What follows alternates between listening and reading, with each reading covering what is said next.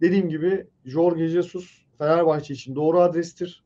İsmail Hoca'ya da inşallah benim gönlümden Ankara gücü geçiyor.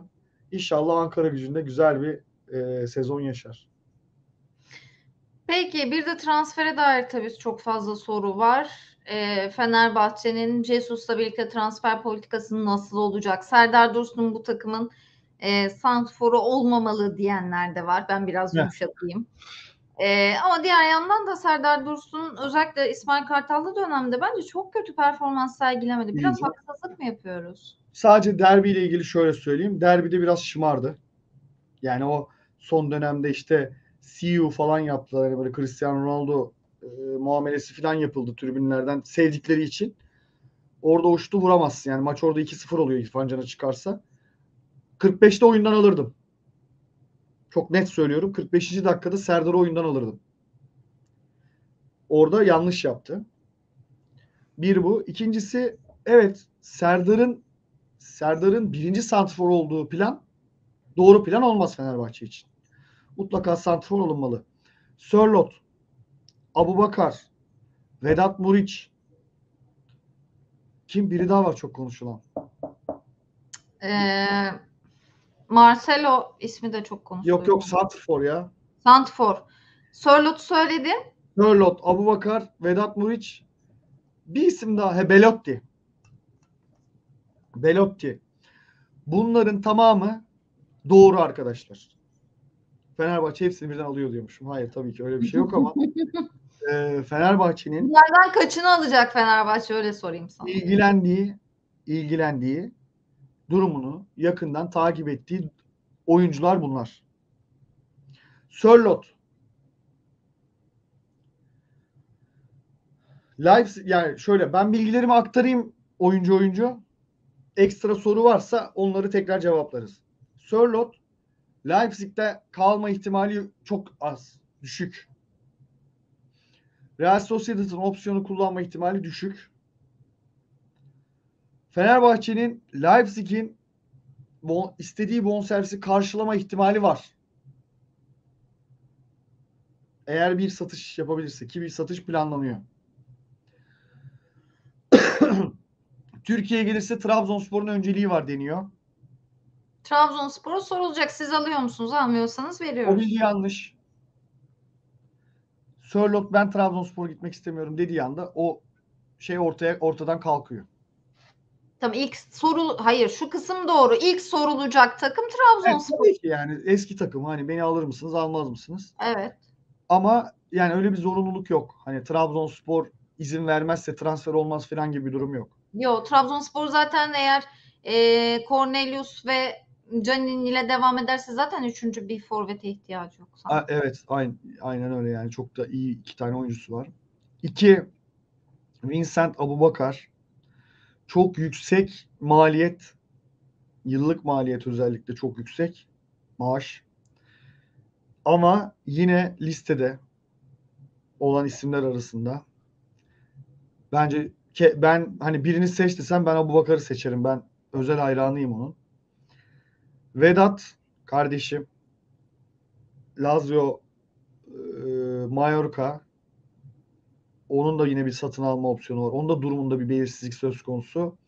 Ama Vedat toparladı. Yani Lazio'da o oynamama şeyini attı üzerinden. Vallahi Vedat olursa da şaşırırım. konusunda sana katılmıyorum Volkan. Yani tamam çok iyi bir futbolcu olabilir ama karakter de futbolda oldukça önemli. E, Beşiktaş şampiyonluğa giderken koşarken sadece daha yüksek bir bütçeyle e, sözleşmesi yenilenmediği için çok maç kaçırdı. Beşiktaş şampiyonluğu bu yüzden kaybedebilirdi de. Bence futbolculuk kadar karakter de önemli. Yüzde yüz katılıyorum. Ben futbolculuğuyla alakalı iyi futbolcu olduğunu söyledim. Ama şunu söyleyeyim yani şimdi Abubakar o maçlara çıksaydı bir sezonu daha uzayacaktı. Gelecek sezonu da kaybedecekti. Yani kaybedecek derken ucuza oynayacaktı. O Ee, yüzden yani yapmasaydı Beşiktaş- o zaman ona göre bu sözleşmeyi İşte daha başında yani kabul etmeseydi. Adam da şimdi bir piyasa yaptı. Piyasayı kullandı. O piyasayı kullandıktan sonra e, işte 3 yıl 20 milyon euro imza attı Ceyda. Beşiktaş'tan aldı 2 milyon mu euro muydu? 1,5 öyle bir şeydi. Yani 2 milyon nere? 20 milyon nere? Ben bunu profesyonellik olarak göremiyorum. Aynı şeyi Fenerbahçe'de yapsa ne yapacaksınız? Yani ona göre sözleşme yapacaksın. E, onda da yine sakatım dese ne olacak? Beğenmez. Abubakar'ı Abubakar'ı kaçırmayacak sözleşme yapacaksın. Yani parasını vereceksin adamın. Futbolcu parayı sever. Ben de Ya- severim. Sakatlıklarından biri nüksederse ne yapacaksın? Etmez. Ben Abu Bakar'ı Parasını alırsa etmez. Parasını alırsa etmez sakatlıkları nüks etmez. Ee, bir de bazı futbolcular böyle olur. Yani e, şeyle çalışır. Jetonla çalışır. Jetonu atarsan çalışır. Jetonu atmazsan çalışmaz. Abubakar da öyle bir oyuncu. Ama zaten bu işi para için yapıyorlar. Ceyda yani niye buna şaşırıyorsunuz? Ben anlamadım. Oyuncunun parasını ödemezsen bak Altay Türkiye'nin en güzel güzide kulüplerinden bir tanesi. Nasıl bir giriş yaptı lige hatırla. Devre arasına kadar muhteşem bir gidiş var. Devre arasında demeyelim de biraz daha erkenle. Muhteşem bir gidiş var. Paralar yatmamaya başladı. Yelkenler suya indi. Hayat böyle. Bu insanlar bu işi para için yapıyorlar. Ben bunları anlatıyorum. Yok işte şöyle büyük futbolcu, şöyle büyük Fenerbahçeli, şöyle büyük Galatasaray 3 ay parasını alamasın bakayım Galatasaraylı mı Fenerbahçeli mi? Bütün futbolcular için. Elbette birkaç tane istisna vardır içlerinde. Ama bütün futbolcular %99.9'u Ya hepimiz para için çalışıyoruz. Bu başka Evet. bir şey benim anlatmak istediğim. Yapılmış bir sözleşmen var. Ne demek ki sonuç maçta paranı beğenmeyip ben sakatım deyip oynamamak yani. şöyle hayır o 30 maç oynasaydı otomatik bir yıl daha uzuyordu. Tamam. O zaman Onu yapmasaydı yönetim- bu sözleşmeyi.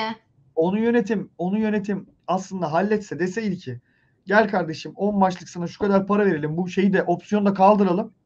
Abubakar oynardı mesela. Orada Niye yönetim kaldırsın? hallet. Niye kaldırsın? Abu Bakar'a kimse güvenmiyorken Beşiktaş'ta yeniden parladı. O sayede bir transfer daha yapıp Doğru ama senin dediğin gerçekleri var.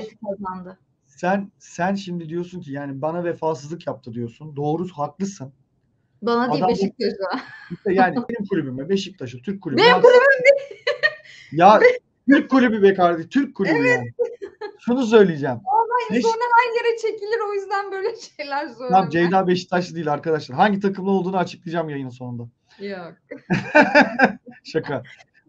Şunu söyleyeceğim. Ee, evet haksızlık yaptı Beşiktaş'a. Ama adamı da dinlesen dersen ki ya abi adamlar 3 senede 20 milyon euro para verdi bana nasıl gitmeyeyim demez mi adam? Ben de sana bunu anlatıyorum. Yani biraz da o açıdan bakmak lazım.